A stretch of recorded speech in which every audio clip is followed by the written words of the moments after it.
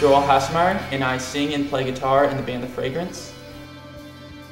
So we all got together a couple years ago. Um, we were all just freshmen at Biola. We started out as a worship band, and then we started writing our own music, um, starting to stray away from the whole worship style. We discovered that the writing process and um, just all the things that were involved in like, putting on a show, things that really appealed to us. Last January, we uh, sat down and wrote a six-song EP. And uh, we're about to write a full length and kind of come out with that maybe next year sometime. So.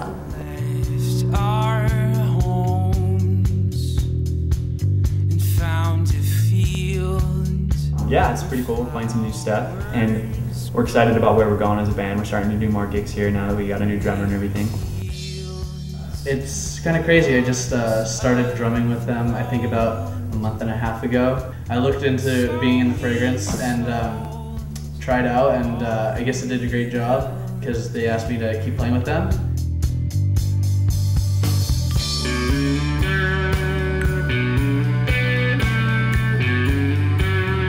Um, as a band, we just really try to pursue music that is um, creative and has lyrics that are very thought-provoking. There's a lot of Christian music is just kind of positive alternatives to mainstream successes, and we just wanted to strive for something a little more than that.